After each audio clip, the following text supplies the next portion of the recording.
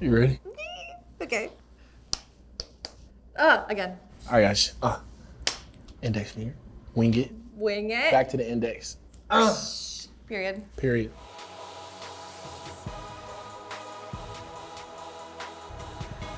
GG, Yes, ma'am. the youngest player in the entire NBA. You just had your 19th birthday. Happy belated. Thank you, thank you. You came into the league as an 18 year old, and you are literally the youngest person on the planet to be playing against the best basketball players in the world. Has that sunk in? Um, not really yet. No, no. Actually, I'm lying. When we played uh, Golden State, definitely sunk in. Cause I, I got to like touch Draymond and like touch Curry. It's a weird thing for a hooper, but for me, it was crazy. So Okay, let's fast forward to that game then, since you brought it up. Draymond, after that game, went on his podcast and said that at halftime you like went out of your way, and I'm these are his words, so you're gonna have to walk me through it. Went out of your way to bring up to Steph that you're uninvited from his camp. yeah. How did that happen? Like, not the actual camp thing. Like, how did the interaction with Steph happen? Uh, I saw he was doing like, mm, mm, Steph does like weird stuff, like, but the greatest shooters do weird stuff. So I saw him like I, I was at the half court line. I called him over and he came. Is that halftime or before the game? No, yeah, it's halftime. Okay. Um, and then uh, I told him I was like, you know what's crazy? Then I told him how I, I got uninvited from uh, the camp, but Draymond left out.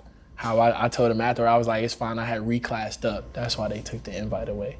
And he was like, oh, word, word, word, word, word. But now since Draymond put that video out, I'm, I know I'm heavy on their scouting report now. Was that on your mind? Like throughout the first half, you're like, I have to tell Steph this, Yeah. or was it like a moment of opportunity? It was like I said, I was either gonna get it before the game when they was walking towards our goal to like line up for the national anthem, or or halftime, or after the game. What was Steph's reaction? At first, he was like, "Oh man, I'm not on the voting committee. I just, you know, it just has my name on it." He was like, "I'm so sorry" and stuff. But no, he was cool about it. Draymond also made it seem like you were upset about it, or you used it for a motivation because you did play really well that game. Did you? Is there validity in in using that as a motivation for that game specifically? Um, I guess you can say that. I feel like I always have a motive going into uh, every game. Uh, I feel all the way to 45, so just my jersey number is motivation for me every game. But I feel like that was a little added fuel, just a tad bit. What's the story behind the jersey number? 45, that's the pick I felt. So is that what motivates you? Definitely. Every morning you wake up. Every morning when I see that 4 5, I'm like, I gotta go get after it. It's interesting you bring that up too, and I I want to talk about that because you were the number one ranked player coming out of high school, right? And you dropped to 45. I've seen the interview with you on draft night. Like you're audibly kind of disappointed, which is fair, valid. But then I think the actual quote that you said is, "I've got a lot to prove." Right. What have you proved to yourself this season so far? I feel like I've proven like no matter the age or no matter what pick you fall. I feel like Jokic proved like no matter what pick you fall, but you know that anyone belongs in this league. Uh, not just anyone. I'm sorry, the skilled players belong in this league, and that's not a knock on the rest of the uh, players or 44 players that went ahead of me. Uh, you know, I just feel like I got that dog in me. You know, I come from South Carolina where we kind of get overlooked, but thanks to guys like Ja Morant and Zion, you know, they kind of opened the door for us SC guys. You have South Carolina ties with Ja Morant. Um, I know one of your cousins grew up with him. You knew his family since you were young. Has it been semi nice to have a, a familiar face with? I mean, you're going from an 18 year old to like living an NBA life now. Like your life has changed. Yeah. Is it nice to have just someone that like you kind of know? Yeah, when I uh, when I hear him talk and I hear his accent, I'm like, oh, I got a little bit of home left over here. But uh, it's it's nice. I get to talk to his dad every now and then. But uh, they took me in like I was one of theirs, so it's all love for them. That must be nice, just like as a transition Right. to have like just someone who you kind of know. I kind of had that when I came here too because it was such a difference going from where I was from to a new city, a new job, and I had like just I wasn't I didn't know Dylan, Right. and he's gone now, but like it was a familiar face, just Right. like made you kind of feel like home still. Facts. Facts. Uh, all right, so we were talking about you being the youngest guy, and I watched an interview with you in South Carolina talking about your idol or like your favorite NBA player. And at that time, it was LeBron James. And when we played the Lakers, you were not with the Grizzlies, you were with the Hustle. Don't worry, there's two more games, and you will be able to play him. And he's the oldest guy in the league, Yeah. which is just this crazy like both sides of the spectrum. After everything that you've we talked about, Steph and Draymond, um, is it still going to be cool when you get to play LeBron, or is that you think going to be kind of like Oh, definitely. Like if he falls to the ground, you might see me trying to help him up. That's all I'm gonna say. It was crazy when the Rockets played the Lakers. I called Cam Whitmore right after the game, like, "Yo, like, what, what was it like, like playing against Bron? Like, what was it like?" And he was like, still like so stoked about it and stuff too. He was like, I almost dunked on him, man. So I feel like you know that just shows our appreciation that you know that we have for him and what he's done for the game. Uh, he came to watch me play AAU during the Peach Jam. I saw Bron walking through the hallway. Naturally, everybody's like too scared to go up there. of course? I was like, man, yo, Bron. And he turned around and was like, oh, what up, G? I was like, no way. And then like he dabbed me up. He was like, keep going, GG. And he said my full name. I was like, like, this is crazy. But that just shows like how much he knows about the game. Like he knows about kids that aren't even in the league just yet. So I feel like he's just preparing. So that was your first experience with LeBron, Yeah.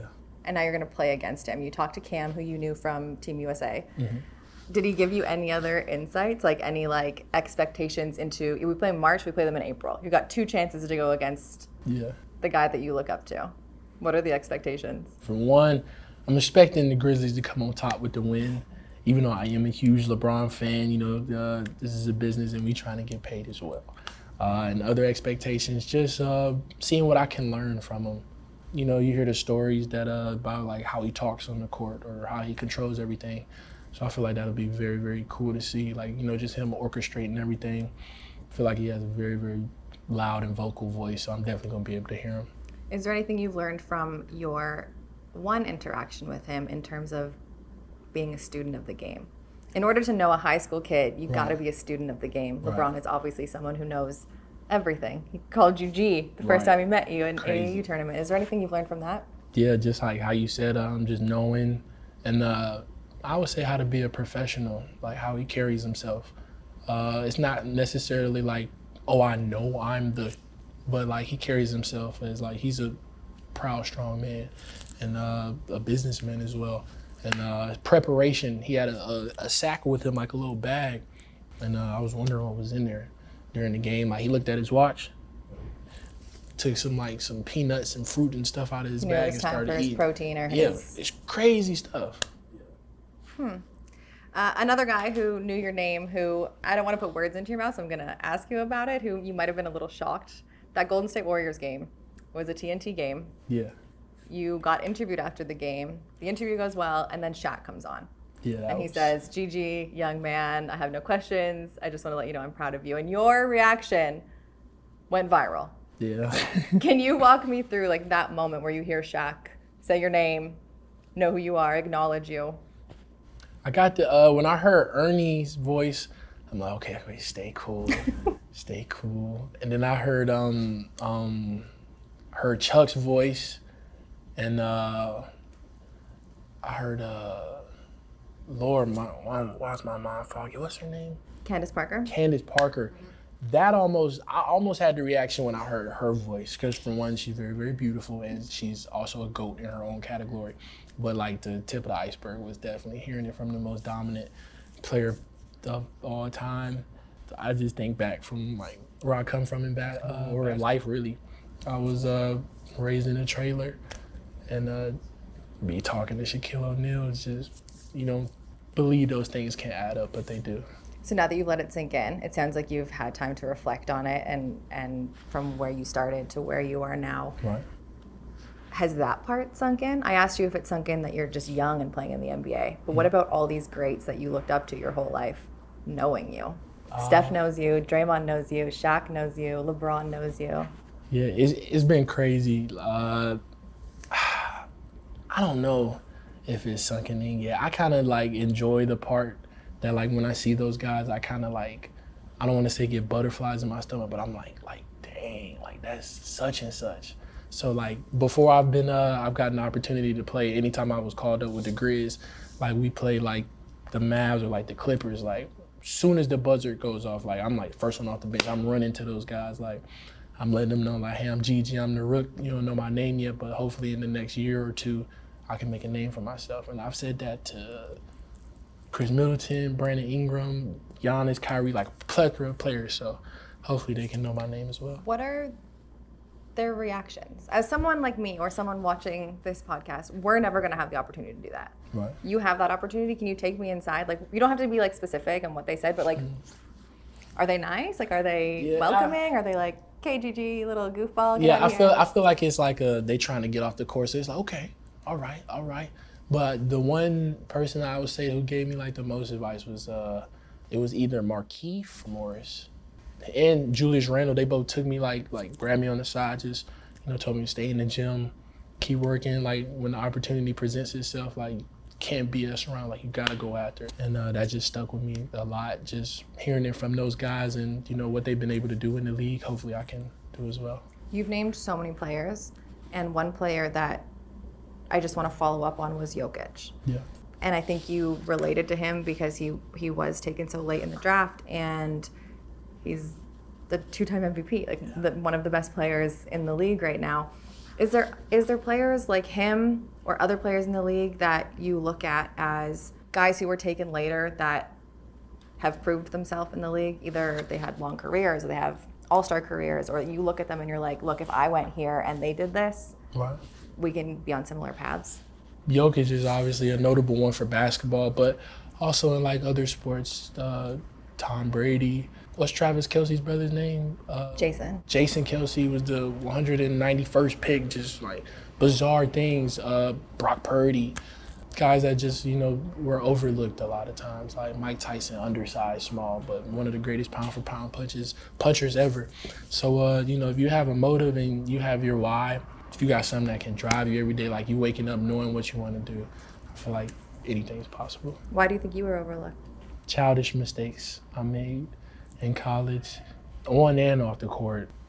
I wasn't the best teammate. There was times where guys would go to the huddle, I would still be sitting on the bench because I was just so mad for some odd reason.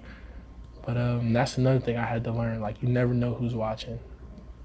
And uh, at the time, I was coming out of high school, number one, so I had a lot of eyes on me, and I just made careless mistakes. looking back, like you sound so mature right now, looking back and owning mistakes. What lessons have you learned? Like how have you changed? Cuz you are you are just like a bright light on the Grizzlies now. Yes, man. Um, I learned to stay off the internet. Definitely. I think we could all learn that. Facts. Be aware of your surroundings and uh, stay true to yourself, but learn to adapt to situations.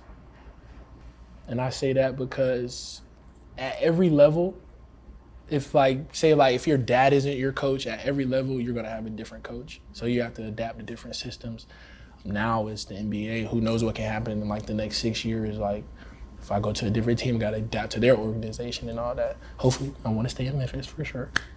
So, but I've I've had to learn to you know adapt to different things. What's one thing that you're proud of yourself for? N- not giving up. When training camp started, and even before that, when we was having open runs in the summer, literally every day I was going back home crying. Like it was so bad. I was I've never felt like I was bad at basketball before. Other than when I first joined CP3 and then when I got here. I was like the gap between me and these dudes is like crazy. But I stuck with it. I had to grind it out. I had to understand that that yeah, you're young, but like you're here for a reason. And that just kept pushing me. Uh, like I've never shot the ball as well as I'm shooting it right now. And it isn't Alex Carter, it's Anthony Carter. I got that wrong as well on TNT. That's my bad. But he's been by my You just side. call him AC, right? Yeah, AC. Yeah. he's been by my side the whole way, getting my shot right. And uh, from the film, it looks like I belong out there.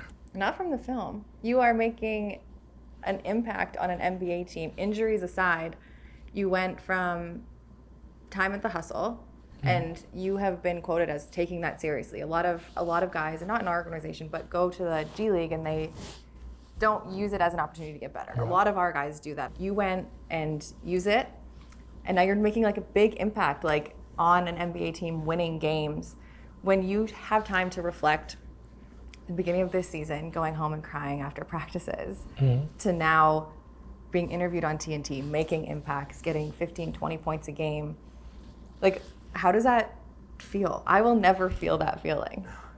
Well, all I can say is uh, it comes from a higher being, and that's being God. Um, you know, the Bible says that you can do all things through Christ that strengthens you. And He's allowed me to do some very, very spectacular things. And, you know, you know, obviously thanks to the coaches and, you know, the GMs for giving me the opportunity, but, you know, I thank God every chance I get, you know, just for allowing me to be able to wake up every day knowing that my job is just to put a ball in the hoop, which is crazy. And your dad's a pastor, right? Like still preaching every Sunday.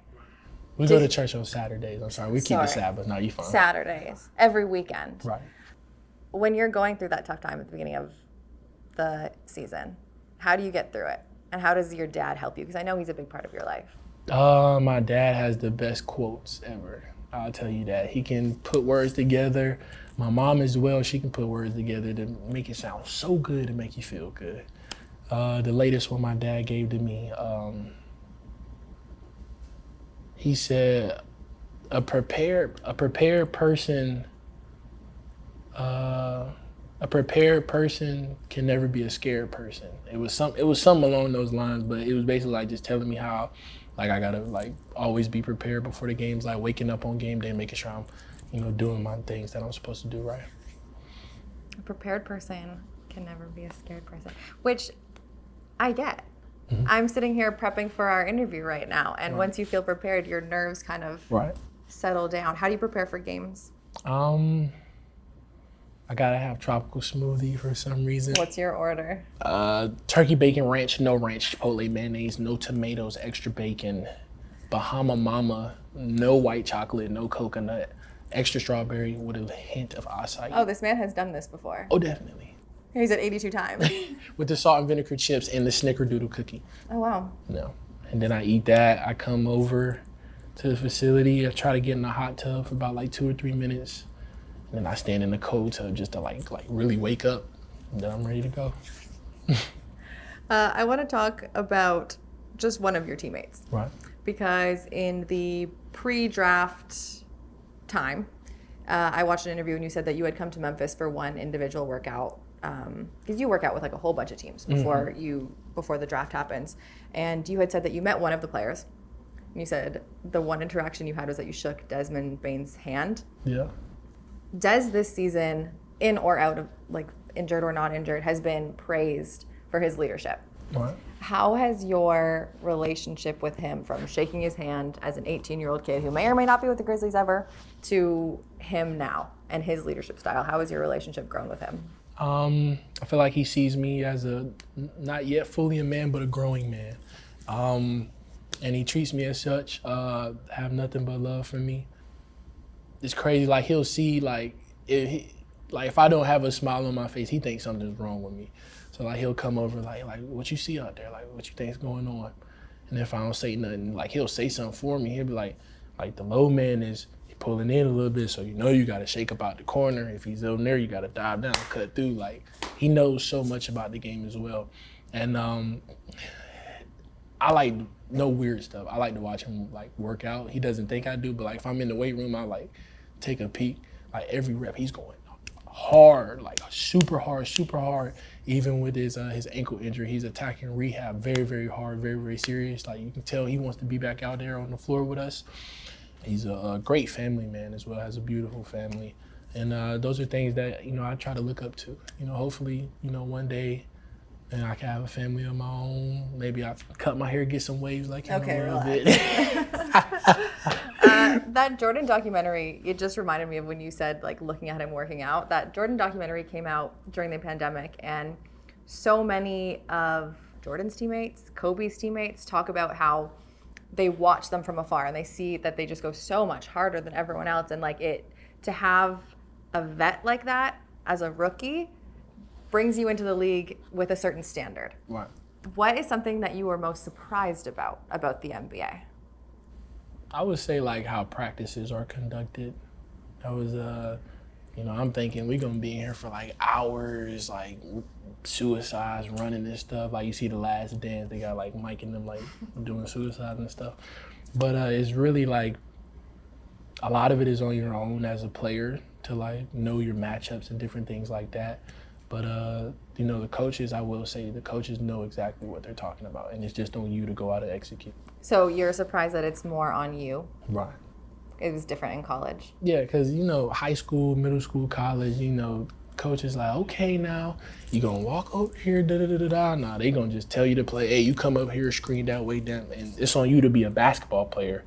And that's another thing that was like new. Like everyone was on the same page. You know, college, you got guys goofing off on the sidelines and all that stuff like that. But when, like, here, when it's time to lock in, like, it's a different level of focus. There is some goofing around on the sidelines, and I'll Yeah, say for sure. during games, like that's one of the most fun parts is to see like the bench's reaction. And you even said like if you don't have a smile on your face, does know something's wrong. Yeah. You always have a smile on your face. You always do. You have like a fun smile. Vince has like a devious smile. Right. what makes you smile? Game days, you're in the game, you're playing, you're on the bench, whatever it is. Like what keeps you so happy? just the fact that I'm there. Like every arena we go into, even like I've been in the FedEx Forum like a lot now, but each time I go out, I'll just like glaze at the, the crowd if I'm out there. Like, dang, like I'm really here. This is Like, real life. It's real life. It's crazy, and uh, yeah, that's one of the main reasons why I keep a smile.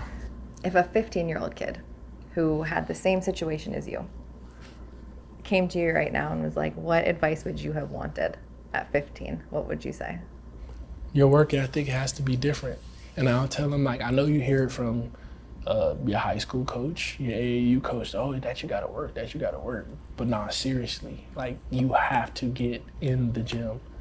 You have to, like, if you're at that stage, I feel like you always gotta have a basketball somewhere near you. Do you have a basketball near you at all times? Yeah, I got one in the crib, like when I'm You just like sit watching TV holding a basketball? Or like I'll like just throw it up in the air a couple of times. it's got to be like your life. Yeah, you gotta eat, sleep, and breathe it. Yeah. My last question to you is because you mentioned all these greats that know who GG Jackson is. You feel like you've been semi overlooked up until now. Now you're playing big NBA minutes. You're playing alongside players like Ja Des, who thousands of kids would look up to, right? Like now that GG Jackson is a name in this league, Shaq knows it, LeBron knows it. What does GG Jackson aspire to be? Um, I want to be that guy that the kids look up to. That, you know, reclassed up early, young guy stepping into a world where shouldn't really be at just yet. But if you stay in the gym, know what you're doing, preparation, you got the right people in your circle, anything's possible. And I want to be that guy that they look up to. All right. Easy as that. GG Yes, ma'am. Jackson. Thank you. Thank you, thank you, thank you for your time. You know, thank you. Grizzlies fans, make sure that you are subscribed to our Memphis Grizzlies YouTube channel for more of these podcasts and other behind the scenes footage.